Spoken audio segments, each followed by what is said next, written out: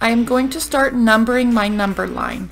In order to start, I will look at how many equal parts there are before I get to the number 1.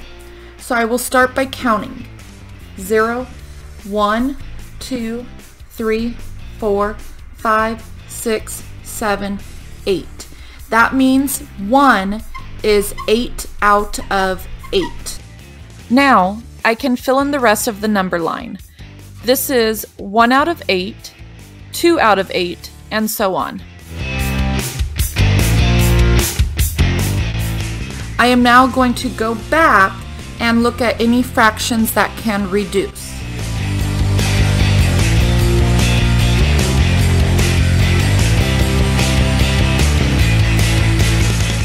Okay, so now we can look at some problems that involve adding and subtracting fractions. So let's say that I want to take 1 and 3 eighths and I want to subtract 3 fourths. I will start with the 1 and 3 eighths and locate it on the number line.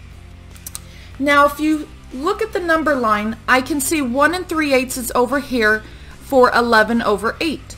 So I'm going to start at 0 and I'm going to jump all the way over to 11 over 8.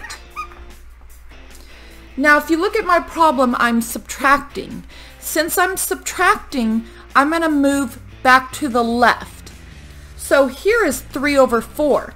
Well, if I look on my number line, 3 over 4 is right here, which is the same as 6 over 8. So this whole part right here is 6 over 8, which I'm subtracting. So I'm going to go to the left 6. So it goes 1, 2, 3, 4, 5, 6. And I will end up, so if I go back, I will end up at 5 eighths. That tells me that my answer is 5 over 8. All right, let's look at one more problem.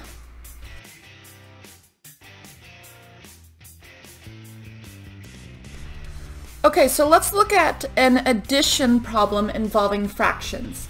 Let's say I want to do 7 eighths plus 1 fourth.